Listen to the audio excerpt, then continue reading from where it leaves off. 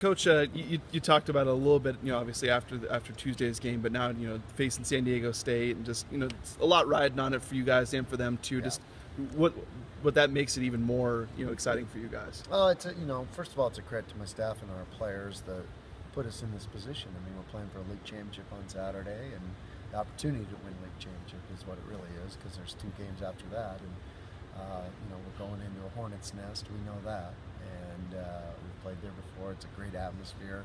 And we know San Diego State's going to come out breathing fire. They always do, and they have, you know, since they left here, they've been playing terrific basketball. They get Polee back, and so you know they got a lot going for them. We know that, and uh, uh, we're just going to have to play our best game.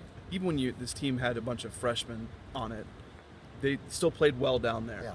You know, I don't want to say does that give you confidence because you guys have played well on the road this year too, but you know, just the fact you guys You have been able to handle it pretty well down there. You, you you like the fact that we've been into some hostile environments before, and they've played a lot. You know, we got a lot of experience at that, but you know, this is going to be different. This one's going to be uh, as as hostile and as intense as you could ever have. And a, it's one of the best places to play and, and the hardest places to play in the country. And you know, they're 15 and 0 at home, and and but probably the, the most important thing is they're a championship level team, and they're they're a great team, and they're so well coached, and and they're going to be dialed in. So we know that. We know what we're getting into, and we, we just got to go down there and compete. How practice has been since Tuesday. Great. You know, I mean, we we have a consistency in our preparation. I mean, uh, you know, you don't just because it's this game, it's not. We're not going to change everything, and uh, just we just do what we do and and understand what we have to do, and, and understand the game plan. And our guys have been great about that. What do you think, from your perspective, is your greatest challenge in facing them? And then turn it around, what do you think is their greatest challenge in facing you? Well, our, our probably greatest challenge is keeping them off the boards and their physical, uh, you know, their physical ability, keeping them out of transition. Because you know, if you take bad shots or if you turn the ball over, they're going to get a lot of easy buckets. They're great at that, and you know, they're uh, so much better at that at home. Even, you know, that they're going to have so much more energy and, and the way they're going to be flying around. So those those two challenges are huge, and and then you know we're a tough matchup uh, in in the fact that we can spread you out the way we shoot the ball, and so those are the two you know things that both teams have to deal with. But uh, you know, like I said, it's it's different dealing with it at their place. You guys have uh, already have a couple sweeps on the season in conference play. Just how much harder is it to beat a team a second time around than the first time around? Oh, I, I think those are all media things, you know, that, that people always, theories that people throw out, like, oh, you can never beat a team three times. And, you, well, I've seen a lot of teams do things like that. I mean, it's just, you know, uh, I don't think any of that applies, any of those cliches or anything. It's just, uh, we know we have to play against a really, really good San Diego State team that, that's going to be, you know, they're going to be dialed in, and both teams are going to be. And so, you know, it's just going to be, hopefully, it's a high level game. Hopefully, both teams play well.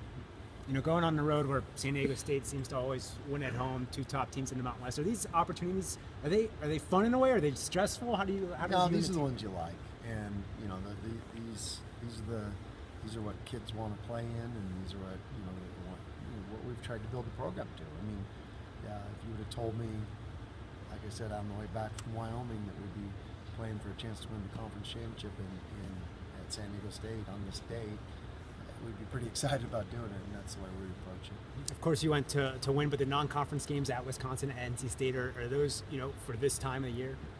You know, I but I also you know the league games prepare you for these things. I mean, you know, this is this league has some of the toughest venues to play in, and Utah State, New Mexico, UNLV, uh, you know, and then San Diego State is probably you know one of the toughest in the country. So. Yeah, we- we've played in a lot of tough arenas, and these guys over the years have played in a lot of tough arenas, and so, but but it's always a factor because it's a factor for the home team because it makes them play with such great energy, and uh, you know I've seen that really happen. Derrick obviously gets a lot of attention for the right reason, but th- those other four seniors, it just seems like those guys have kind of all fit their roles really Yeah. well. Maybe you know maybe don't fill out the stat sheet, but if you look, that they've all at some point or another provided really key plays for you guys. What, Oh, But those other guys, what have they meant you know, The- to you the- this season, especially? Yeah, the, the, I love it when our seniors, you know, max out their abilities and max out the team, uh, and that's what they're doing. These guys all care about the team, and they've all brought what they can bring uh, to help this team, and that's why we're winning. You know, Derrick's doing great things, obviously, and but we don't win without all these guys doing what they do and doing their roles. Everybody's role is just equally important, whether you're scoring 30 a game or whether you're, you know, running the scout team uh, at an elite level. Those roles are equally important.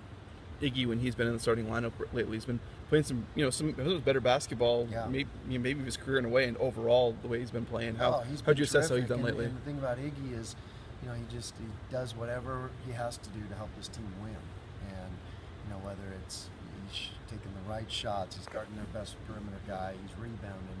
He, he just does what it takes for us to win. And, and like I said, that's he's doing his role at the highest level. Does it get annoying when people ask you about the NCAA tournament?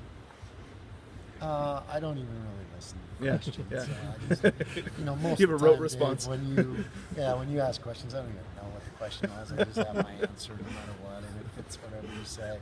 So, What's your favorite movie? No, They'll keep you on your toes a little The- bit. the what? What's your favorite movie? I said we just got to keep you on your toes. yeah, so. I think that they, you know, when they produce they, uh, I don't even know. Exactly. Um, you, Jake and uh, and Dez, I know have been out for a little while. At this point, do you have any idea when you might get them back? No, Jake's trying to move around. I think it's going way slower than you know. He had he had one day where he moved around pretty good, and then the next day he was pretty sore. So he's you know he kind of he's running a little bit like Frankenstein on that foot. It, it doesn't look good right now. So uh, hopefully we can get him back for you know let him have a senior night. That's what I'm shooting for. I think he's shooting for earlier than that, but uh, I still haven't seen him move very good. Dez, any idea? And Dez is, you know, he- Dez has been out for a long time, Right. so he's pretty rusty, and uh, he, he's trying to move around a little bit more every day. But uh, I think he's a long ways from it. You know, I got to hear David sing for the first time. Do you think he's uh, probably the greatest Bronco basketball players to sing? You know, I think he has to rank up there uh, as probably one of the better singers. I haven't I haven't interviewed them all, in fact, on who can sing and who can't. But I think David's going to be. Yeah, my goal is to someday get him to sing the national anthem here. That'd be pretty cool. So. He says Chandler has a sneaky voice. Have you Really? heard Chandler sing? I have not heard Chandler sing. No, I haven't. Yeah, I can see that. Maybe get the two of them to do some duet. Yeah, do you ever, ever have to tell them to, to be quiet a little bit on team trips, David? David? Oh yeah, yeah. You always do. Yeah, yeah, yeah. He's he's a professional conversationalist.